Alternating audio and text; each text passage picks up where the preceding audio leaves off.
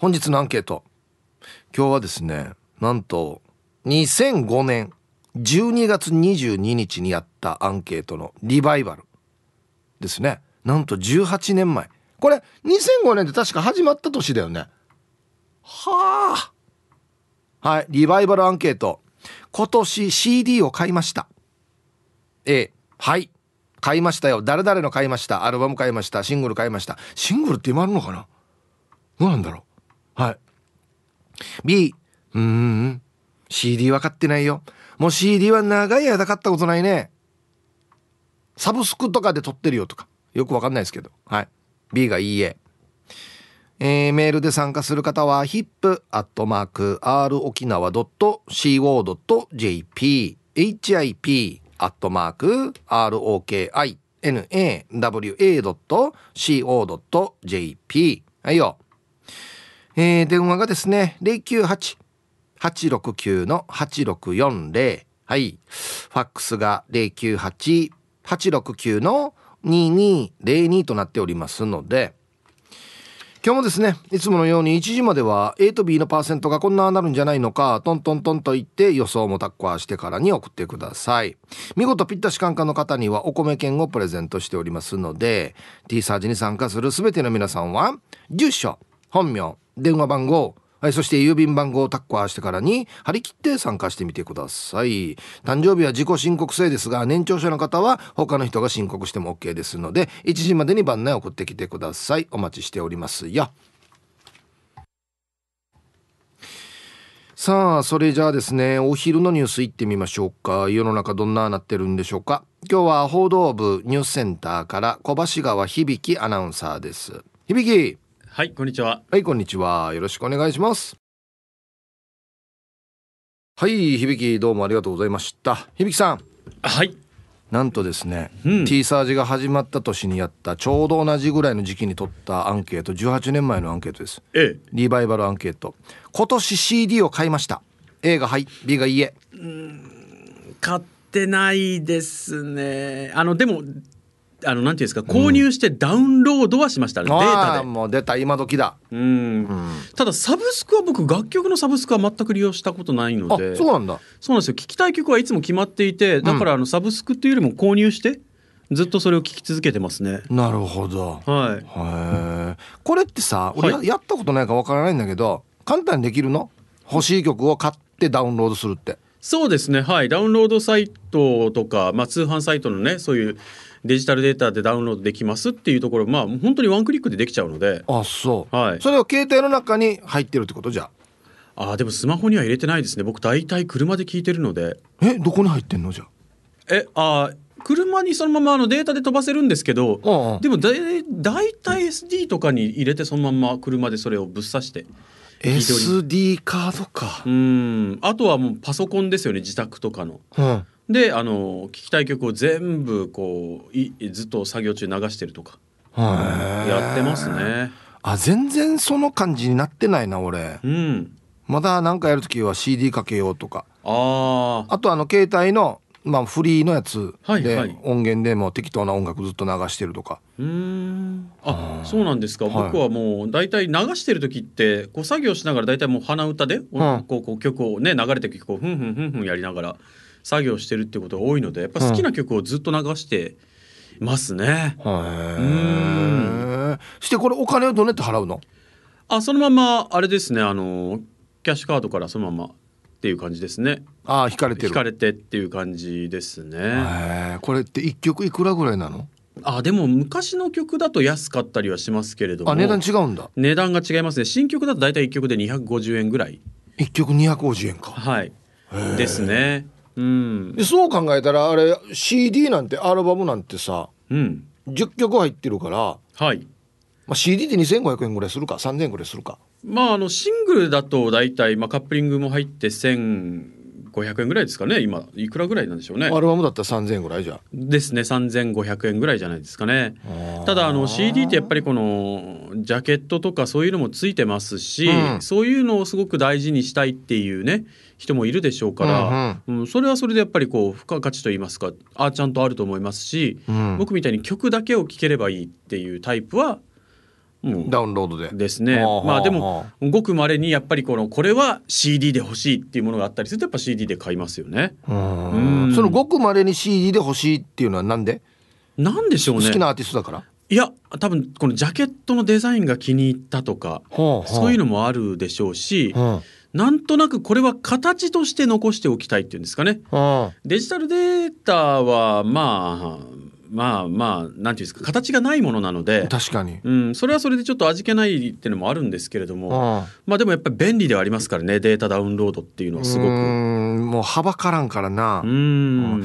でもな確かにそうなんだよな。便利っちゃ便利なんだけど、うん、今さっきひ響き言ったみたいにこの CD をさはい、こう壁一面にずらっと並べててうん、なんかまあまあアーティスト別とか、はいそういうのはいちゃんと整理されててちょっとしたなんかいい CD プレイヤーといいスピーカーがあって、うん、今日何聴こうかなっつってあこれがいいなってこう引っ張り出してきてはい、ジャケット見ながらあそうそうこれこんなジャケットだったな懐かしいなとか思いながら、うん、CD セットして聴くみたいなって作業って一応アナログで大変だし幅も変わるじゃないですか。はい、なんだけどなんか楽しいの分かる？わかります。ね。うん、そのなんていうんですか、多分僕らの親僕らが親世代に対して例えばレコードをかける親がの手間を楽しむとか、うん。レコードのプツプツっていう時々ねツーってこう入るノイズとかを楽しむとかああいうものに今近いんじゃないかなってその感覚って、ね若い世代から見ると。うん。っていうことになってくるんでしょうけどそういう、まあ、ノスタルジーではないんですけれども、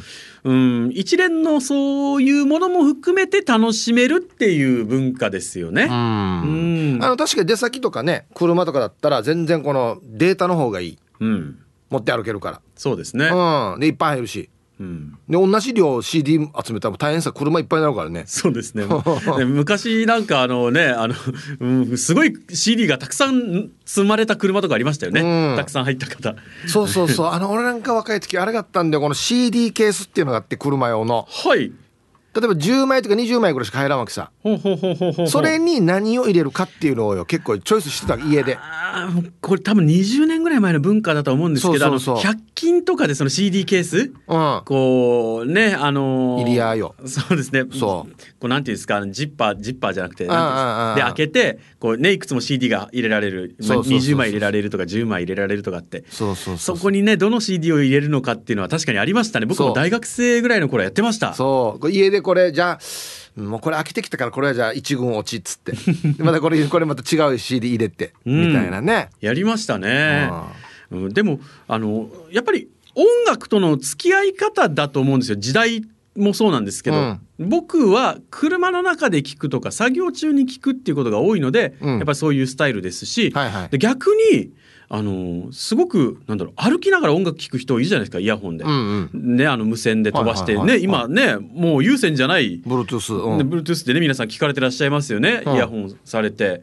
あんなの僕ないんですよ全く。あそう。歩きながらは逆に音楽聴かないんですよ。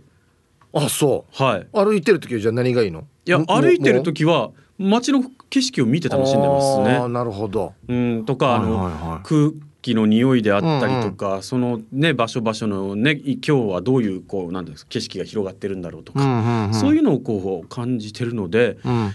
外でも一人の世界っていうのはあんまりないですね音楽聴きながら。へうん。ーそうか。そうなんですよ。はあだから逆にそういうの逆に疎くてなんなんですかあのね無線飛ばすイヤホンなんて言いましたっけ、ブルートゥースな。えーえーといやあの I えー、いうえうえなんて言いましたっけ？あのイヤホン Bluetooth じゃないやつがあるの？Bluetooth は方式じゃないですか？無線方式。そうじゃなくてあのイヤホンの名前ですね。お何ですか？無線のあれ。なんて言いましたっけ？俺に聞くなよ そうそういうのが全然疎いので。あそう。うん。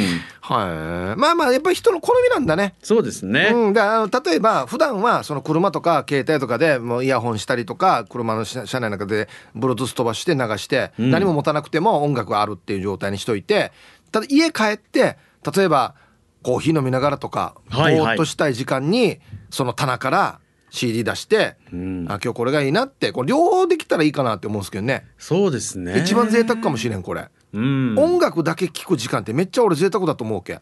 あそうですね。うん、で確かに。そういう時はちゃんと自分の好きな飲み物と、まあ、お酒でもいいしコーヒーでもいいし準備してもうこの棚から引っ張り出してわざわざこう手順を踏んでじゃあかけようって聞いてもうぼーっとするっていう時間はとっても贅沢だなと思うんですよ。わかります。コーヒーね片手にこう音楽だけを聴くっていうんですか、うんこれすごい豊かな時間ですよね。だそういうのも大事だし持ち歩けるのも大事だし、ん。便利だしっていうところですね。そううん。まあまあ持ち歩き昔の人もねあのカセットで持ち歩けるようになって、うん。ラジカセ持ってねあそうね。街に出て、うんうん。でそれでねもうニューヨーカーは踊ってたわけでしょ。どんどん軽量化してるからね 今ね。そうですね。うん。だから音楽との向き合い方もやっぱりこう多様性が出てきたおかげでこういろんなスタイルが生まれるわけじゃないですか。そうですね。いやもうちょっと新しいやつに追いついていかんといけんな。ああそうですね。まあ、うん。知っておくことはいいかもしれないですね。やってみて、うん自分に合うかどうかっていう。そうそう便利なやつは取り入れた方がいい。うん。うん。ですね、うん。いやーでもいまだにこう CD はやっぱりなくならない文化のままですね。だからやっぱあなんかこる程度ニーズがあるんじゃない多分うね。デジタルデータに移行してどんどん衰退していくのかと思いきややっぱり踏みとどまっていると言いますか。うん。うん。うん。やっぱりなくならないのかなこれからもずっとって気になりはしますね。うん。ねはい。わかりました。ありがとうござありがとうございいました。そうそう両方あった方がいいんですよこんなのって。片一方ばっかりによるんじゃなくて。うん。便利なのとアナログなやつっていうのは両方残っててほしいんですけどね。はい、えーお昼のニュースは報道部ニュースセンターから小橋川響アナウンサーでした。はい本日のアンケートですね。なんとリバイバルアンケートです。18年前に取ったアンケート T サージが始まったばっかり。2005年12月22日のアンケートです。今年 CD を買いました。これ文言も一緒なんですよね。ああ A がはい B がいいえ。ちなみにですね2005年当時の結果どうなってると思います ?A のはいが 60%B のいいえが40%だったんですね。18年前で6割の人は CD 買ってたってことなんですけどさあ18年経ちましたということですねどうなるんでしょうか、えーそして昼ボケのお題来週使える辰年ダジャレ2024はい。懸命に昼ボケと忘れずに、結構体力使いますよね、これね。はい。えー 本日もアンケート、昼ボケともに張り切って参加してみてください。ゆたしく。はい。本日のアンケートをですね、リバイバルアンケート、今年 CD を買いました。A、はい。B、いいえ。18年前に取ったアンケート、そのままもう一回やってみましょうね。どうなってるんでしょうか。いや買ってないですね。いや、あのね、ミスチルが好きなのでミスチルのアルバムが出るカージずっと買ってたんですけどいつの間にか買わなくなってますね。なんでだろう。うん。はい。いやあのねゆっくり音楽聴く時間があんまりないっていうのもあるし車の CD が壊れてるっていうのもあるんですよ。大ダメージですよね。車の CD 壊れてるって。マジで。はい。行きましょう。一発目。うーんどうなるのかな。ヒブさん皆さんこんにちは。というのはコーラル金具宿さんこんにちは。今年は1枚だけ買いました。中学の頃にハマってたバンドザ・グッバイ。おいよっちゃん？だよね？なるよね？今年その40周年記念ライブに行ってライブ会場で先行発売の CD を買いました。ザ・グッバイを生で見るのは初めてだったので懐かしさもありめちゃくちゃ感動しました。よくアイドルのファンにはモノノフとかエイターとかアーミーミーなどの総称がありますがザ・グッバイのファンはよっちゃん曰く年季の入ったお嬢さんたちなんだそうです。これ全然総称じゃないな。ヒープーさんもライブ見てそこで CD 買ったことありますか？はい。コーラル金具さんありがとうございます。うん。あんまりね行かないんですよ。正確に言うと行けないんですよライブって。土曜日だったりするんで。行けないんですけどだから俺ミスチルとかも好き好き言いながらまだ一回も見たことないですよ。うん。もうちょい若い頃はですねえっとそれこそ尾崎豊さんとかプリンセスプリンセスとかのライブは行ってたんですけどあの時は逆ですね。行く前に買ってから死に聞いて行く。ほんで行って「おこの曲やる!」みたいな。のでテンション上がるみたいな感じでしたね。もう死に聞いてたもん。尾崎豊さんも死に聞いてたしプリプリも聞いてたしね、うん、はい。えー、ヒブさんこんにちは。埼玉からようちゃんです。こんにちは。今日はアンサー A です。お。ラジオから流れてきた曲で好きになった曲があったので高橋由美子さんの CD を買いました。いい曲との出会いがあるからラジオは本当に楽しいですね。おい。嬉しいね。はい。埼玉からようちゃんありがとうございます。あラジオで紹介されてあこれいいなって言って買った。へえはい。ありがとうございます。高橋由美子さん。あのアイドルの？えー、あそうどんな歌を歌ってたのか全然パッと浮かばないな。あ書いてあるさリクエストに。友達でいいから。えー、友達でいいの？本当に。はいありがとうございます。えー、イブさん皆様こんにちは。やる気なしおです。はいこんにちは早速ながらアンサー B CD は最近買ってないな。一番最近買った CD ってなんだっけね。クイーンの「ボヘミアン・ラプソディ」の映画が流行った時にベスト版買った時かな。ああそれって45年前だよね。えあんなに経つもあの映画。45年？嘘。あんな経つっけ。うん。まあそれぐらい CD なんて買う機会なんてないさ。ワンが今流行ってる曲に疎くなってるっていうのはあるかあるかもな。昔はテレビもラジオもベスト10ランキングの番組があってそれを聞いていたら何が流行ってるかはすぐ分かったんだけどね。今は全く分からんのよ。ヒープさんも流行ってる曲よく分かるのにこの番組やってるんでしょ。度胸あるよね。それでは終わりまで頑張ってね。はいやる気なしおさんありがとうございます。でしょ？デジ度胸あるでしょ？なんでかっていうとこの番組昭和の曲しかかからないですよ。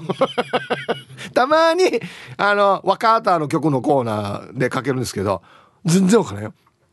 俺だってどっちが曲名ねって聞くのに。だろさや昔のもんだったらや人の名前とかでで誰々さんで何々ってすぐ言えるから分かるけど今やどっちが曲名か分からんもんや。デイジロ顔も見せない人も多いし。ねえうんはいじゃあコマーシャルです。はい本日のアンケート。今年 CD を買いました。A はい。B がいいえ。なんと18年前にも取ったアンケートですよ。どうなってるんでしょうか。えー、はい。こんにちは。ゆいゆいです。こんにちは。むしろ普段から CD しか買わないの。アンサーは A あそう。これは心がけているんでしょうね。今年買ったのは20年以上追っかけているゴスペラーズの EP そもそもヒップさん EP ってわかるかな？あとは娘たちの影響で去年ぐらいから推している snowman のシングル数枚とアルバムだね。それ以外の最新曲はわざわざ買わずにアーティスト公式の動画で見ることが多いかな。最近は CD を売ってる場所自体がなくなってきてネットで取り寄せるしかないことも寂しいさ。いやことよ。売ってるところもだから少なかったるからね。CD やや、うん、EP なんで昔の感覚で言ったらあれじゃないの？シングルみたいなのじゃないの？当たってるよね。ゴスペラーズの EP エレクトリックポリあは。エレクトリックポリス。親が。電子警察。エクステンデッエクステンデッド？なんとかですよ。ね。はい分かるわちゃんと分かってるこれぐらいは分からんと。度胸だけではできない。こんにちは。石垣島のジュリエンヌです。こんにちは。アンサー B10 年ぐらい買ってないかもです。アレクサを買ってからは聞きたい曲を言うとかけてくれるのでアレクサで聞いてます。はい。ジュリエンヌさん。ありがとうございます。これですね。割ったよりもあるわけよ。アレクサ。うん。全然かからんよ。かけてほしいの。全然かからんけどなんでね？言い方があるのかなと思って。頼み方。頼み方。そうそうそうそう。いやいやいろいろ模索するわけよ。例えば BGM にしたいからって言ってなんかえっと、アレクサスローな曲かけてって言ったらなんか「えー、なんとか変とかでなんとか変とかをかけます」って全然違う曲が流れるわけよ「なんでよや」っつって「アレクサ待て」とか言って 犬みたいなと。でうちのあの妻もですねしっちアレクサに話しかけるんですけど全然アレクサ聞かんわけよ。人と喋ってるみたいな話しかけるわけよ。アレクサって最初に言わんと反応しないからねあれはえアレクサとか言っても多分ダメなはずだから。ね。えー、ペンネームラジオネーム今日は優しさ匿名で。ひぶさん皆さんこんにちは。こんにちは。買いましたの絵。それもよ。沖縄の大御所の CD 大御所って誰だかわかるよね。CD 出して各地で営業しに来ていた時に思わず買っちゃった。でもどこに行ったか家にはない。はい、えー、今日優しさ匿名ということでね。うんわかるよね。本当にね。はいありがとうございます。いやあのねこのパターン多いんですよ。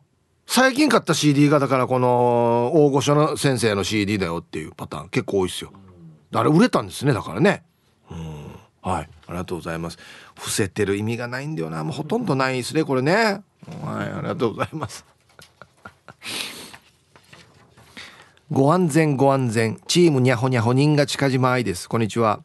さて今日のアンケートはダブルトリプルアルファの A たとえ購入枚数が少なくなったとはいえ買わないということはありえない。アーティスト名で言うと「花花」懐かしい。ああよかったなだ。マイケル・ジャクソンアマランスホワイトスネーククイーンズ・ライチスラッシュテンプルボールズなどなど。まあハードロックが中心になってはしまうけど好きな曲は今でも CD で買うことがメイン。ダウンロードじゃはっきり言うけど聞いた気がしない。ただ再生する環境は本当だったら自慢のオーディオシステムで聞きたいんだけど音量を出すことができないので自分のマイコンの上等スピーカーかスマート電話経由の Bluetooth スピーカーだけどね。それじゃあヒープさんこの年末は CB7 班 F 制作に集中予定だけどご安全ご安全。はい、まあ、人間さん音楽やってますからね。ああはい。ありがとうございます。うん。花々とマイケル・ジャクソン以外全部わからんな。うん。テンプルボールズ。知ってます？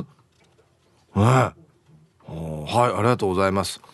音楽やってる人はそれはもうだって音楽やってると CD 売ってるから。ねそれで自分のお金になってるはずだから CD でやっぱり買いたいですよね、まあ、まあ今時は多分ダウンロードしてもお金は入ってくるんでしょうけど。うん。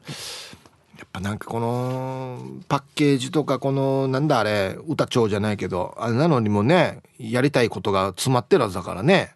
うん。おみちはるささん。はいこんにちは。アンサー A ラジオ沖縄のオンラインショップで H2O 花々の CD と安田照美さんの CD 買いましたよ。そういえば直木屋神社のガチャガチャで大当たりを出して直木屋さんの CD もいっぱいいただきました。スマホに入れて楽しく聴いてます。直木屋神社来年も開催されるんですか？また参拝したいです。え言わんけ。言わんけこんなの。海ちゃるささん。あれが聞いてたらどうする？やるかもしれんとまた。うんはい。これ。ガチャガチャで大当たりしたらただで CD いっぱいもらったわけ。はいありがとうございます。まあなみんななんだかんだ言って応援してるがすごいよな。うんはいありがとうございます。直木屋の神社俺も見たよ。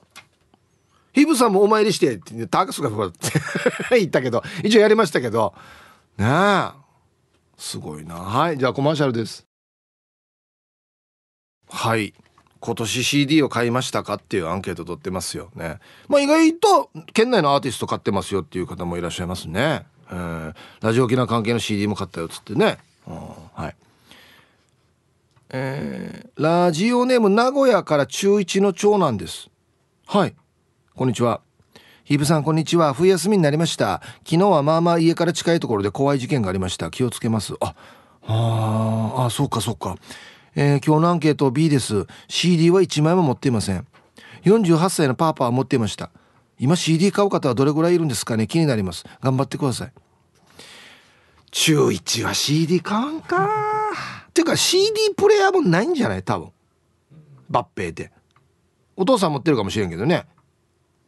はあ。え名古屋から中1の長男さんはあれじゃない？じゃんもしかしたら。ビジュアル知らんアーティストもいるんじゃない？もしかして。ねえ。SNS とかでこのなんかいわゆる PV みたいなので見てこの曲いいなって言ってダウンロードして撮って。どんなチラの人が歌ってるかもうわからない時あるんじゃない？もしかして。どうする？デイジーデブのおじさんだったら。だ誰よ？誰誰を指してよ？いや多分あの本人が今隠してる人も多いしビジュアル出さない人もいるから分からんはずなと思って。ベスト10出れないやしじゃあ。いや。アドアドちゃんもそうだしね、うん。えー、ラジオに鉄人金本さん。ヒブさんこんにちは。ファイヤー。こんにちは。今日もかっこいいですね。あったかいぜんざいあげましょうね。ありがとう。アンサー A うん。ロックの日のイベントでカカズーの CD 買いましたよ。恥ずかしながら巻いたのでカカズーが歌を歌っていることを初めて知りました。こんなこと言ったらカカズーに失礼かもしれんけどカカズー歌うまい。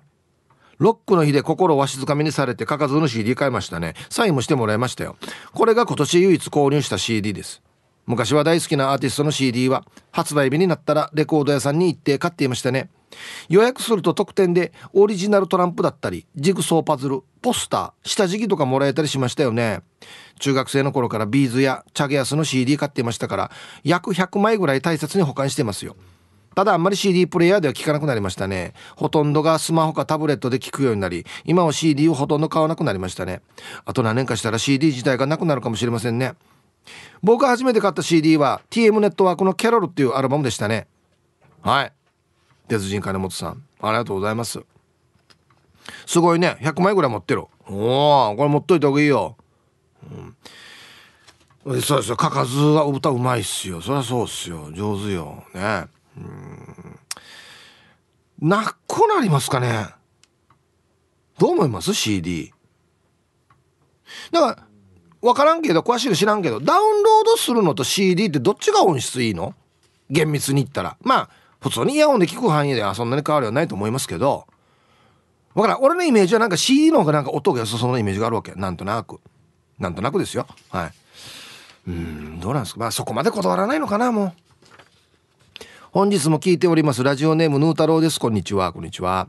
本日のアンサー B です。えー、今年というかもう10年近く CD は買っていませんね。配信の時代になり好きな曲も YouTube で気楽に見れる時代ですもんね。しかもミュージックビデオ付きで。決命誌のりょうさんが連載しているコラムを読んでいると昔 CD が100枚から200万枚売れていた時代は発売の半年前にはレコーディングを終わらせないと販売スケジュールには乗らなかったそうですが今は当時の10分の1か20分の1ぐらいの CD の生産なのでレコーディングは発売の1ヶ月前でも間に合うようです。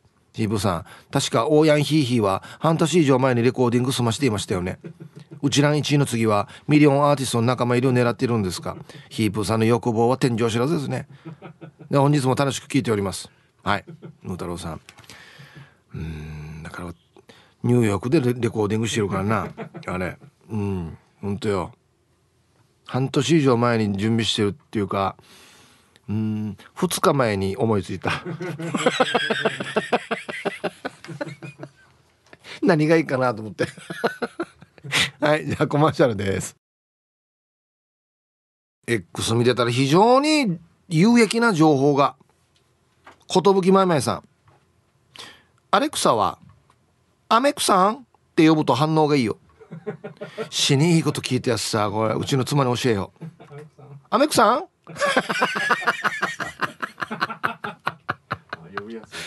めちゃくちゃ呼びやすいアレクサも多分聞きやすい。アメクさん？ほらほらほら。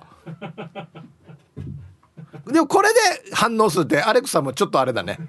ちゃんと聞けよって話あるけんな。アメクさんか。いやおやってみよう早速。反応するか。いいこと聞いたな。採用されたら2回目の復職リーマンです。こんにちは。裏添えで 7, 7号ライダーって書いてある。7 2ライダーの時にヒープさんに挨拶したものです。ありがとうございます。アンケート A です。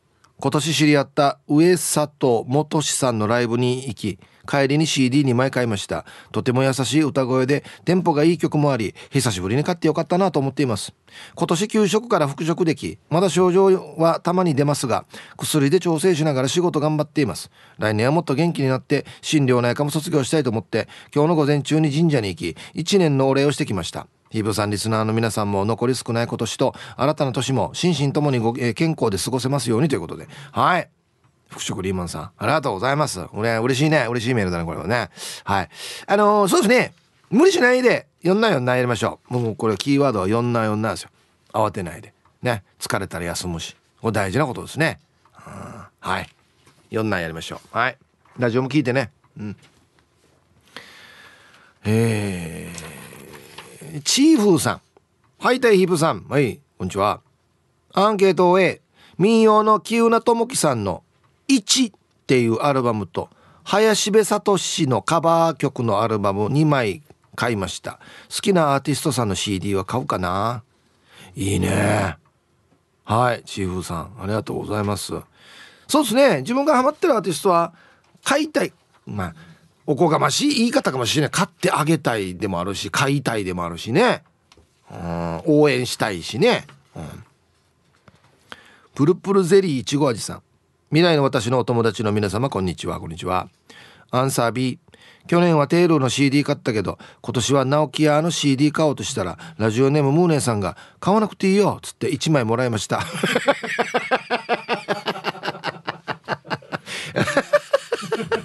リスナーに助けられリスナーに足を引っ張られ。はいありがとうございます。聞いてるか直樹屋。本当によ。これでも面白いやつさ。あのプルプルゼリーいちごいさんは直樹屋って言ってますね。伸ばしていってるんだね。はいありがとうございます。こういうふうにしてリスナーとして回ってるの CD がね。はい。さあでは続いては沖縄ホーメルおしゃべりキッチンのコーナーですよ。どうぞ。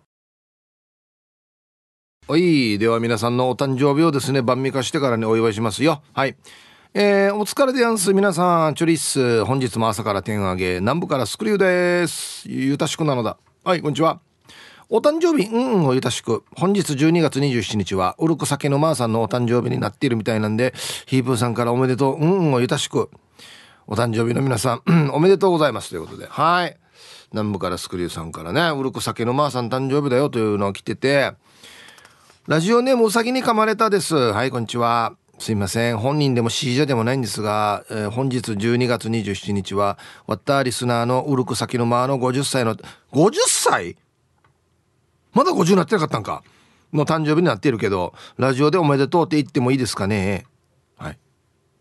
うさぎに噛まれたさんからも来ていてですね。はいそしてなんとヒープーティーパラシンから皆さんハイサイはじめましてのウルク先のマーヤイビンはじめましてじゃないだろうや。はい。本日50歳を迎えました。まだ50なってなかったんか。いつものあれをいたしく逃げさびらティーパラで祝ってもらったら来る年も安全運行で頑張れるはず。してアンサー B だな。ROK しか聞かん。では配達行ってきます。ということで。はい。ウルク酒のまーさん。50歳のお誕生日。おめでとうございます。いやー。50でも楽しいっすよ。はい。ご心配なく。ただもう健康に気をつけてね本当にね。これが第一ですね。本当に。はい。安全運転で。はい。おめでとうございます。よかったよかった。皆さんこんにちは。聞くだけリスナーのももちです。はい。こんにちは。本日12月27日は私の〇〇歳の誕生日です。あっという間にこの年になりましたが周りの人たちに支えられ学生時代からお付き合いさせていただいた方と結婚し人生の半分以上一緒にいます。秋雨はすごいね。これからも健康で楽しい一年になれるようヒープーさんのハッピーバースデーお願いします。ということでわあなんて素敵なメールなんでしょう。ももちさん〇〇歳のお誕生日おめでとうございます。ね。全然何歳かわからないですけど学生時代からお付き合いしていた方と結婚。おっしゃべよ、はい。ああとこれ昨日の来てたんですけどちょっと見落としてたやつなんですね。ヒープーさん皆様こんにちは。今日はマイマミーみちこさんの92回の生まれ日になっています。ヒープーさんの特大うんをよろしくお願いします。元気でいてくれることが一番ギフトよ。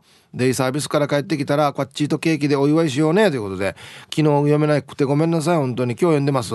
聞いてますかね?はい。えー、マイマミーみちこお母さん。92歳のお誕生日おめでとうございます。え？はい。では。えー、っと、昨日、そして本日27日お誕生日の皆さんまとめておめでとうございます。はい。ハッピーバースデー。ふんほうは？い。お誕生日の皆さんの向こう1年間が絶対に健康で、うん、そしてデージ笑える楽しい1年になりますように。おめでとうございます。こっち食べてくださいね。肉食べた方がいいんじゃないかなと言っておりますよ。はい。で、あの、元日なんですけど、はい、えー、1月1日月曜日は元気に通常放送します。えー、マイタの T サージパラダイス、花々天国の3番組は、ラジオ沖縄本社1階、ウェルカムスタジオで公開生放送ということになっておりますので、まあ、初詣に行くついでに遊びに来てくださいということですよはいお待ちしておりますはいさあでは。ね。アンケート戻りましてリバイバルアンケートです。昔撮ったやつ。えー、今年 CD 買いましたか？ね。はい。A がはい買いました。B が買ってません。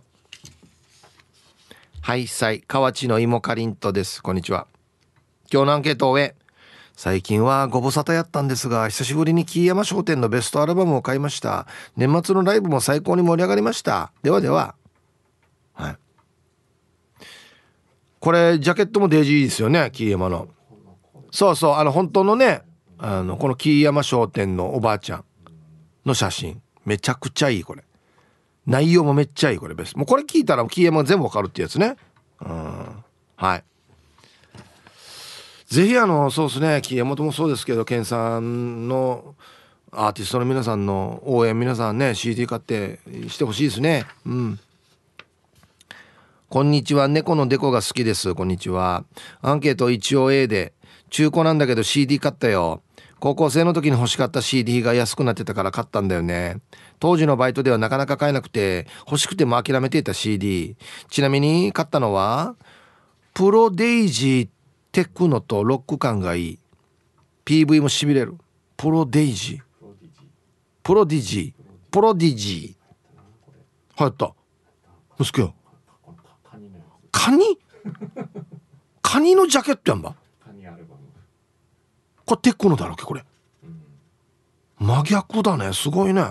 もうはい。ありがとうございます。えー、あでもな確かにな。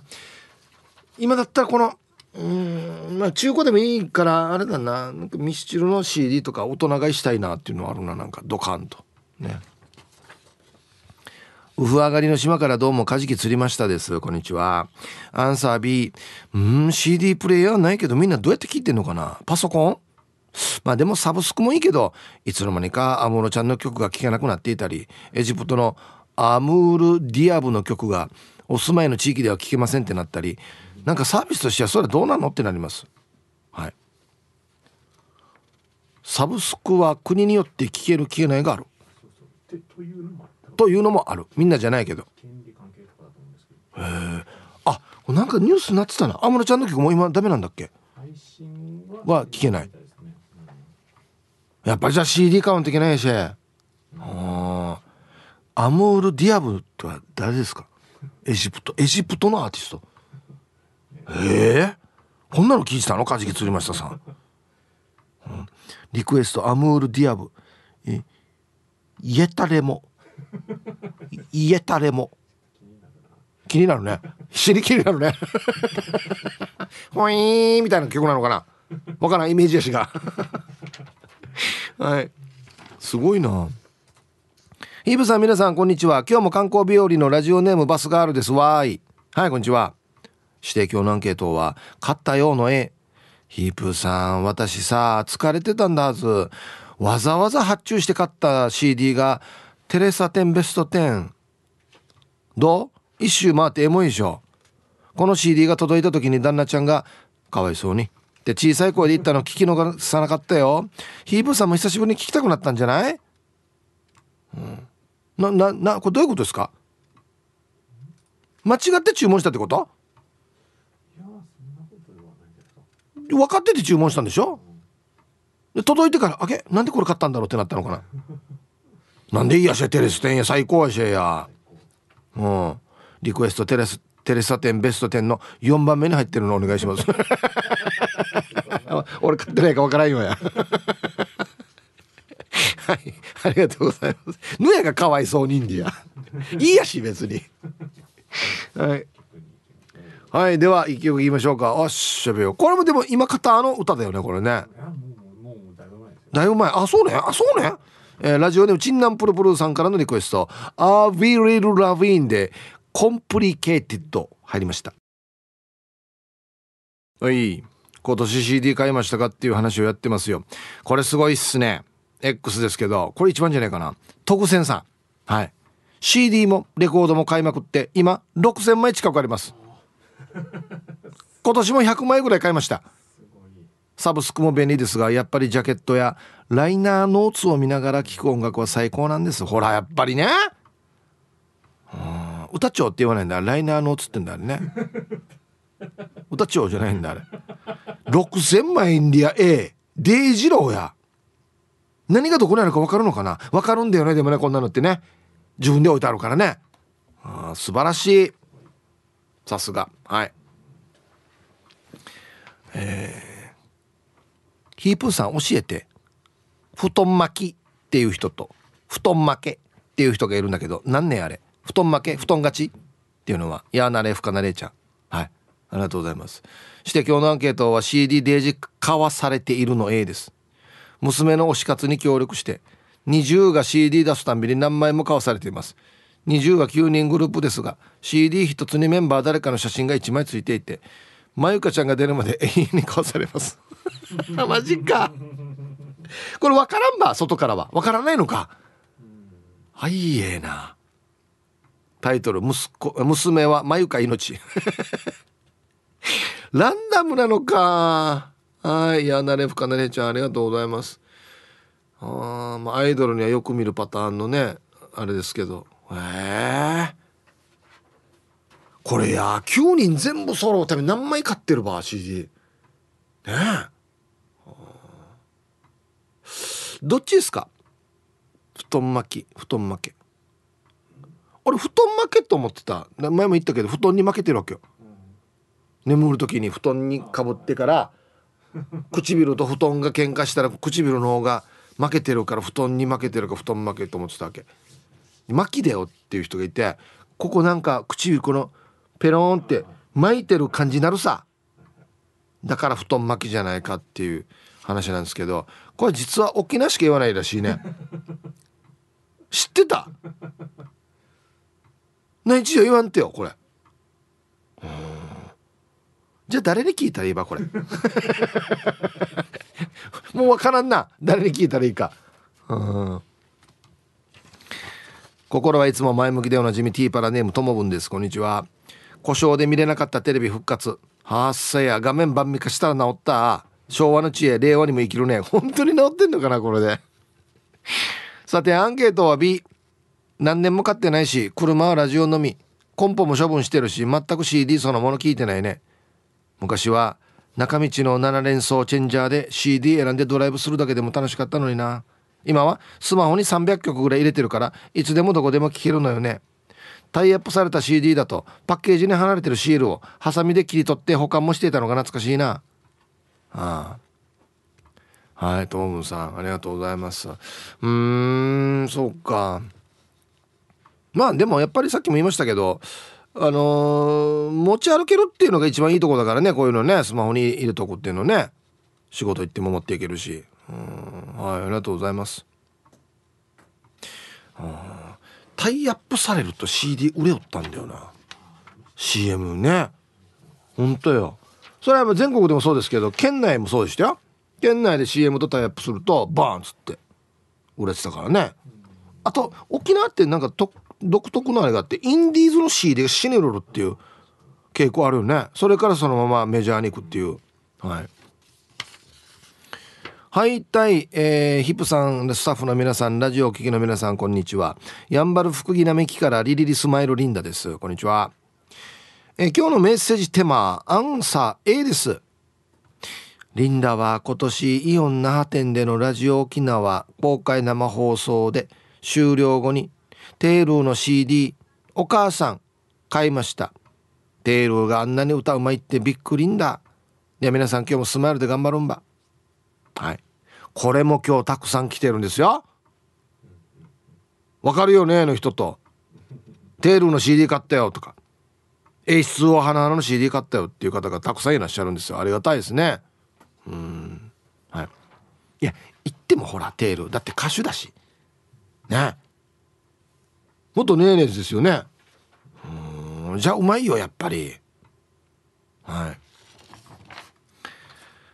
えー、ん？皆さんこんにちは。名古屋からラジオネームへっぽこたぬきです。ポンポポン。はいこんにちは。いいですね。CD 買いました。ここ数年初めて男性アイドルにはまりまして韓国のストレイキッズというグループで曲作りも自分たちでやるクリエイティブさに惚れました。ファンの中には1人で100枚とか買われる方もいるようですがヘッポコは身の丈に合わせて1枚ずつ買っています。車の中でも YouTube でも流しまくり全く興味のない夫もついに私の推しのチャンビン君を見分けられるようになりました。私たち夫婦に子供はいませんがストレイキッズの8人を我が子のように可愛がり応援しております。紅白にも出演するのでヒープさんもうちの子たちを見てみてくださいね。はい。ヘッポコたぬきさんありがとうございます。えー、相当応援してるね。え紅白に出るんだ。知ってた？ストレイキッズ。うん。あいえなチャンビンくん安心色白猿を。日焼け全然してないね。シワもないし。白髪もないし。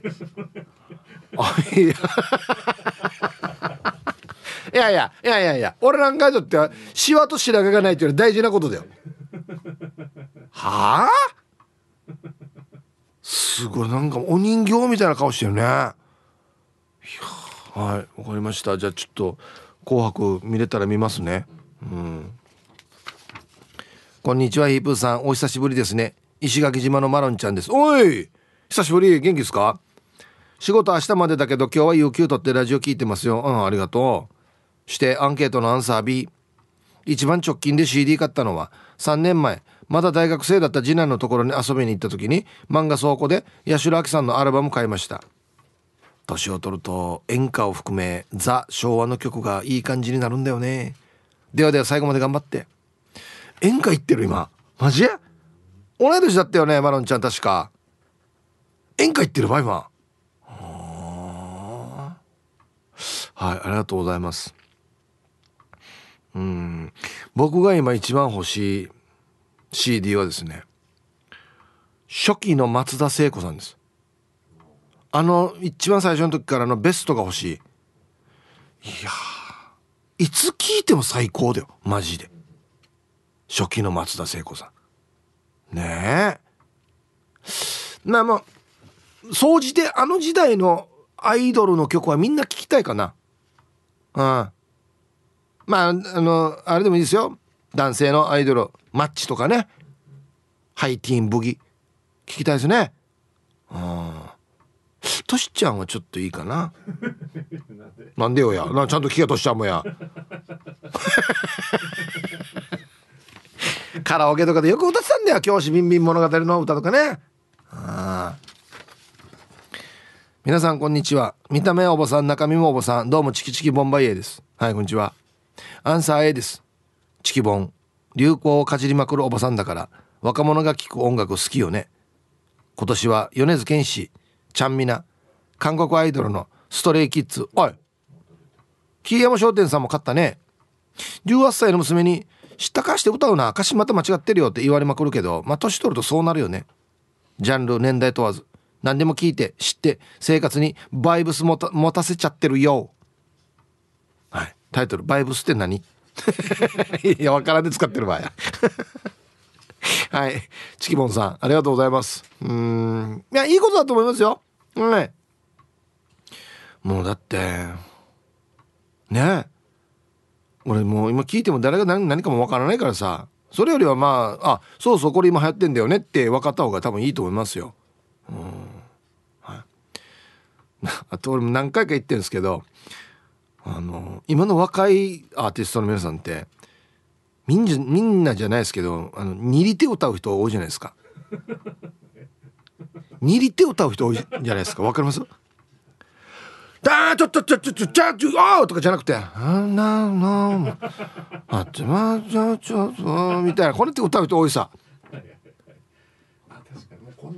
そうががむしゃらに歌うんでしょなんかもう別にもう明日やめてもいいかなみたいな感じで歌うから。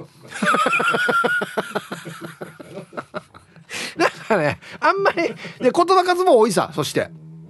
ねだからあんまり入ってこないんだおじさんにはな。うん米津さんとかぐらいは全然大丈夫なんですけど。ね。はい。じゃあ一曲いきますか。ね。もうさっき名前出たんでもうかけます。はい。八代亜紀でリバーサイドホテル。入りました。渋さよ。八代亜紀さんでリバーサイドホテルね。ラジオから浴び出しましたけど。今聞いたらすごい歌詞ですよね。ホテルはリバーサイド。食事もリバーサイド。おおリバーサイド。ね。はいありがとうございます。やっぱ X 見たらねカモン達夫さん思い出すっていう意見もね いくつかありますけど。はい。ほらやっぱりいいでしょ？なんか聞き応えがあるでしょ？うんはい。えー、はい。はい CD やっぱし最近はついつい年末が迫る箱亀状態よとヒーハーと言ってしまうマチックな素晴らしいヒップーさんやっぱしハイバル町からメッサー本日で仕事空手練習納め。明日はヒーハー大掃除チックな This is Royals ヒーハーツはいこんにちは。発作してアンサーシャニビ。ー、えー、結構案外最近は買ってませんど秋穂状態よセイブさん。やっぱしローヤル的にシャニ近年はなかなかヒーハーと CD を買う機会が鉄砲よか滅法減るしょうもない鉄砲よか滅法ヘルシンキしながらもなんと先週末に軽くいらないものを仕分け掃除していた瞬間よアギジャブ用ナーベーラ。はっさなんとまさかの田村健二チックにシングルヒーハー CD のモームスのなんとかと釈迦えー、今ではレアな森高千里のケバイジャケットの雨のシングルヒーハー CD を発見伝してびっくりヒーハードンキロドーマルキローヤル状態をデュアッツハッサヒープーさんそんなチックに最近レアなシングルヒーハー CD を発見伝したことなんてありますみ ロドリゲス。それでは今日もヒーハーパワー全開でコンパクトディスクチックにパリパチネ盛り上がっていこう。はい今年最後のメールありがとうございました本当に。まだあるけどね。ありがとうございます。うん。いやもう全部多分捨ててるんでなんか懐かしいなっていうのはないんですけどね買ってませんど秋穂状態。鉄砲よか滅法減るあしてよ。もういろいろとよ。難易度上げるなよお前。これ伏せ字を入れるな途中で。びっくりヒーハードーマルキローヤル状態って言うやんこれや。余計難しくなってるやしや。はあ。はいありがとうございます。うん。森高千里さんかいいな。いやちょっと大げさかもしれないですけどほとんど変わらないですよね。ほんとねすごいよねヒープーさん、大城熊さん、スタッフさん、リスナーさん、こんにちは。水に刺した花です。こんにちは。といえばですよね。水に刺した花さんといえば。今日のアンケート残念ながら B です。あら。ん買いたい CD はいくつもあります。最近公式の YouTube チャンネルができた、アキナちゃんの CD で買ってないものだったり、クラシック音楽ですでに個人なのですが好きなチェロ奏者の発掘された音源で有名なベルリンフィルトの共演音源の CD ですごいななんか。来年の早い時期には1枚は買おうと思っています。やっぱり好きなチェロ奏者の音源やアキナちゃんの CD は手元に置いときたいですもん。うん。アキナちゃん大好きって書いてますね水に刺した花さん。ありがとうございます。いいですね。まあ、僕もどっちかといえばアキナちゃん派ではあるんですけどだったんですけど当時ね。うん。アキナちゃんの初期の頃のあれも欲しいなベスト。うん。少女 A とか。ね。松田聖子さんが例えばなんていうのかな。明るい感じだったらこっちはちょっと影があるっていうねアキナちゃん。あはい。ありがとうございます。いやもう2人ともすごいアイドルですよ。今のアイドルが絶対勝てないな。うんはい。えー、タイムフリーはタイムフラーさん。こんにちはイブさんスタッフさん。面白すぎるリスナーの皆さん。本日もお手柔らかに参加させていただきますの A プレゼント用に買いましたがそれも A で大丈夫かな？大丈夫ですよ。えー、いとこの子供が、えー、1歳の誕生日プレゼント用にアンパンマンの CD 買いました。単価上の時にも1万円札ご飯電卓サッカーボールの隣に私がプレゼントした CD を置いてくれました。ジャケットのアンパンマンを指さしてあんあんあんして歌ってくれましたね。もちろん最初に撮ったの1万円だったからこれはもう音楽好きのモーキアパラダイス。ここで一句失礼します。放課後は CD 貸し借り楽しいな。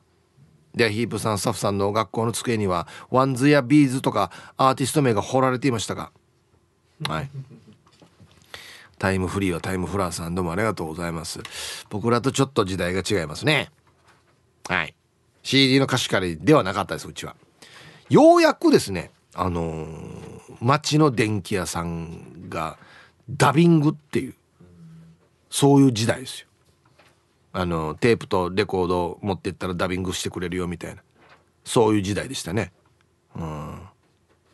まあそれがなね法律にどうなってるのかよく分かんないですけど。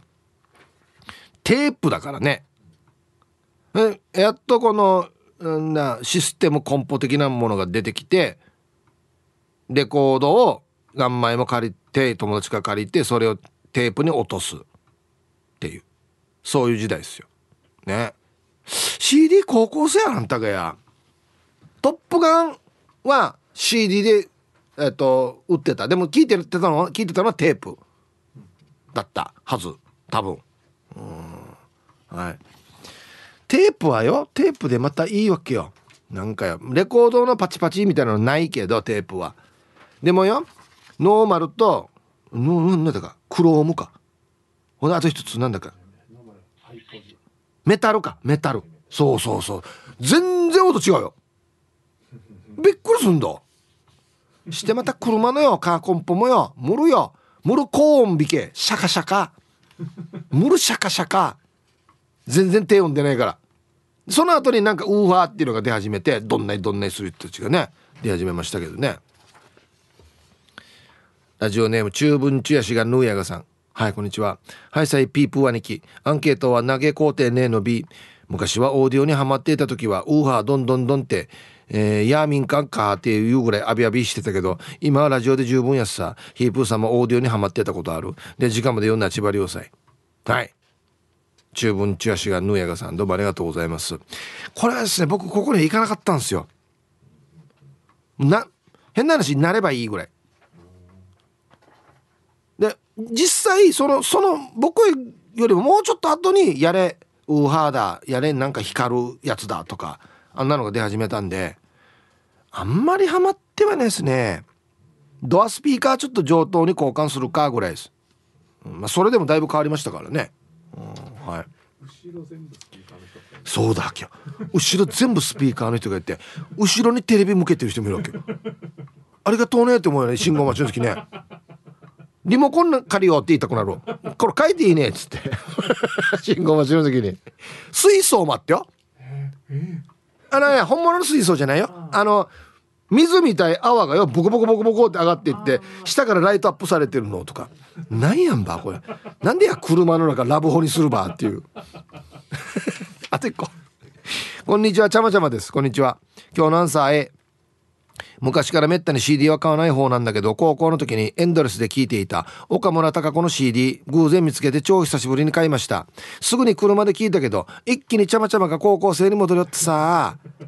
えヒープーさんちゃまちゃまはポニーテールで毎日学校行っていたんだよ。いいね、タイトル「ダーヒャこれ続けてもいいですよね。ちゃまちゃまポニーテールで高校に行ってたんだよ。ダヒャ。沖縄の言葉ってすごいんだよな。これ一言で全部伝わるっていうね。はいコマージャルです。はい X 見てたらミンチューさんが借りたテープをラジカセで流してスピーカーの近くで録音できるラジカセで音拾って映していたよ。えやったよね？っていうね。これあれと一緒ですねテレビから流れるものをラジカセで録音するから C しとけよっていうのとねラジカセからラジカセっていうね。まあせんつながらいでややってたんでしょ？相当音質落ちるね。もうめちゃくちゃ落ちるね、うん、皆さんこんにちは。黒島です。こんにちは。アンサー A かな？というのも先週急遽個人から車を購入したら中に CD が入っていました。オプションと捉えたらいいのかな。美空ひばりさんのアルバム2枚組。だけどプレイヤー持ってないんだよな。ヒープさん聞きます？はい。なんで車で聞いたらいいさ？あもういらないってこと？聞かないってこと？うん。はい。ありがとうございます。そう。あのね。車廃車にしたら中に CD とかテープいっぱい入ってるよね。本当に。俺書いたエアとかたまに行くから分かるけど中にもみんな CD とかあんなのばっかり。ね。あれも悲しくなるんだよね。本当に。あんなに聞いてたはずなのに。あと「ゆたしくステッカー貼られて車番で書いた屋にあるね。これなぜかというと番組がもう長くやってるからです。はい。あれもちょっと切なくないんだ。うん。まあステッカーだから一回貼ったらね貼り直すことできないんでまたもう新しいのゲットするしかないんであれなんですけど。ねあでもこんな昔から聞いてくれてたんだっていう気にはなるね。なんかね。はい。えー、これいざよいさんでいいんですかね。こんにちは。楽しいひとときありがとうございます。はいありがとうございます。もちろん買いました。今一押しのストレイキッズ。まただ。BTS も購入。癒してもらってますよ。根強いファンだなすごいね。いっぱいいるね。ストレイキッズ。BTS が今確かあの兵役行っててね活動できないっていうところもあるんですかね。注目されてますね。へえ。はい。あのねこれステストレイキッズさんは僕はまだ見てないですけど BTS って死にすごいの分かる？まあいっぱいあの男性のねアイドルグループいくつかありますけどめっちゃ揃ってるよね踊り。わかる？やっぱちょっとやっぱり他とはちょっと違うなっていう感じするんだよな。はい。えー、ひーふーさんお久しぶりです。いつも2人の娘と友達関係あがんにゃ用意です。久しぶりだから丸忘れてるな、はい、今日のアンケート A です。CD 買いました。昔懐かしのタッチのオリジナル CD3 枚セット。見つけた時は懐かしくて見つけたことが嬉しくてすぐに買いました。運転しながら一人車の中でカラオケしてますよ。はい。あがんにゃよいさん。ありがとうございます。っていうかタッチの CD3 枚もセットになってんの？俺1曲しか知らんけど。お願いタッチしか知らんけど。えー、他何が入ってんだろう？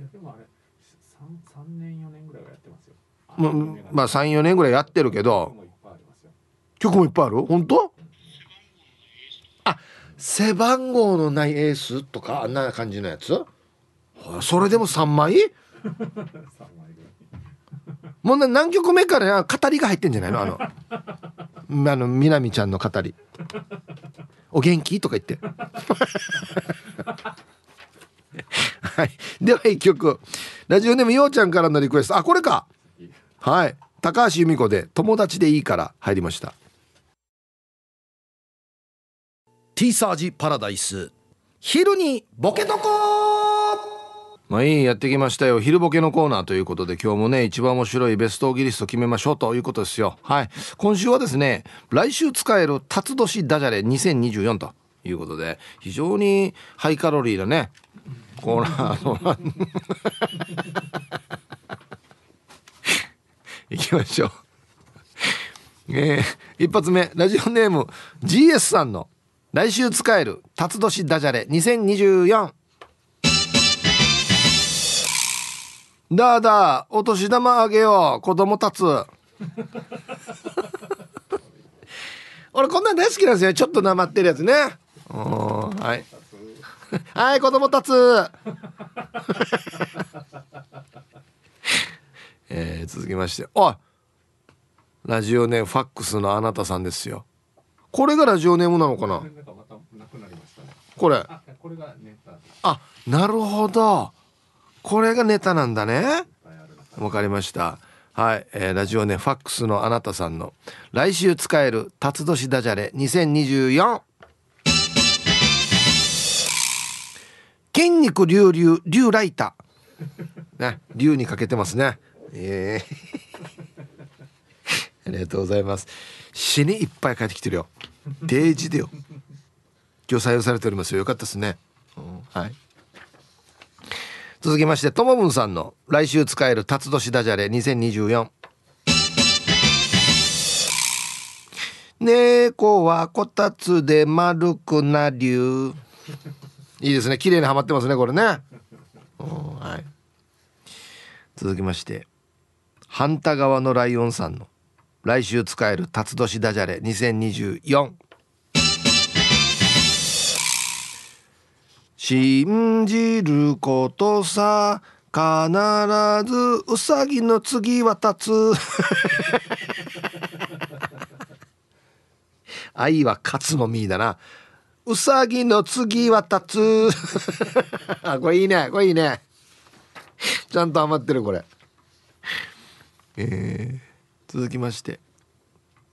やーなれふかなれちゃんの来週使える辰年ダジャレ2024これも歌っすね。ちっちゃな頃から悪ガキで15で不良と呼ばれたつ。いやいや急に来たよや。熊にはまると思わんかったよや、うん、いくつか書いてあるんですけどまあディレクターを採用してないんですけどこれもいいですよね。噂の刑事トミーと立つ まんまやしっていう。あ面白いな。歌いいっすね歌ね、うん、あこれも歌か。ラジオネームよっきゅんさんの「来週使える辰年ダジャレ2024」どうも辰博です。辰ないで。もうこれ強引すぎるだろ。何もかかってないなこれ。辰ないでよや辰ないで。どうも辰博です。おじさんがしか言わんよやこんなの。続きまして一丁あがりさんの来週使える辰年ダジャレ2024ドラゴンバンにちは。おはこんばんにちはみたいなね、えー、これよ？やられてもよ。これあなるほど。これ辰年にかけてるダジャレなんだって。あんまり気づかないんじゃない？多分ね。ドラゴンバンチは、うん。えー、続きまして英治伊達さんの来週使える辰年ダジャレ。2024あんたがったたっつまんっていうか懐かしいなおい。ベースが懐かしいなおい。伊藤四郎さんですよね。確かね。はいありがとうございます。えー、続きましてモートーさんの来週使える辰年ダジャレ2024前平ひたつあちょっと聞こえるね。どうも前平ひたつです。これ俺以外使わんな多分な。で俺も使わんし多分な。えー、続きましてコーラル金具宿さんの来週使える辰年ダジャレ2024さあ今日も順調に始まりました。ティーサージパラターツ。足りないんだよな。ティーサージパラターツ。足りんな。はいありがとうございます。えー、ポロリーマンうさぎ年さんの。来週使える辰年ダジャレ2024ラジオ沖縄あ竜王系使っていいですよって書いてますね。使うか。や はい。ありがとうございました。で揃いました。じゃあですね本日のベストギリストは CM の後発表しますのではい。コマーシャル。はい。じゃあ本日のねベストオギリスト決めますよ。はい。来週使える辰年ダジャレ。ね。えだだだあのお年玉あげようね子供たつ。いいですよねこれね。はい。GS さん。ね。ありがとうございます。えー、嫌なね、深なれちゃん。ちっちゃな頃から悪ガキで、15で不良と呼ばれたつ。無理に入れてる。はい。一応、はい。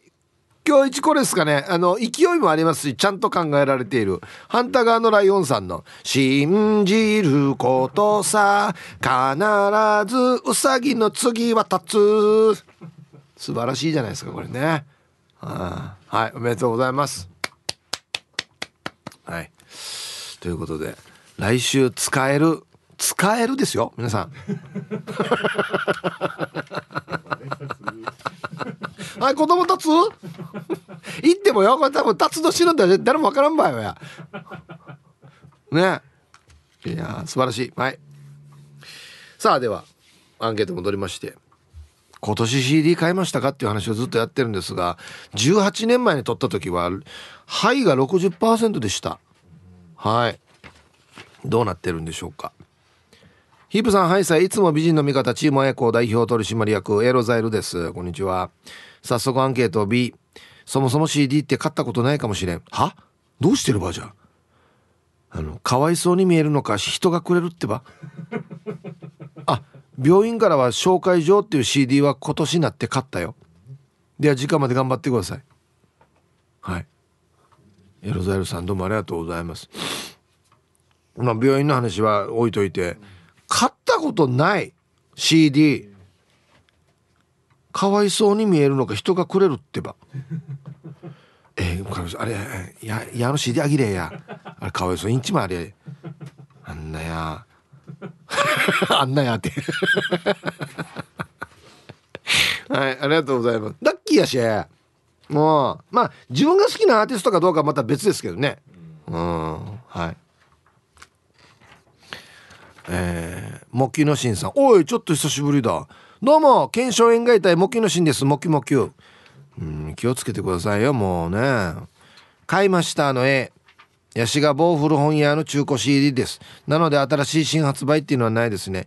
もう音楽は Spotify とかで聴けますからな。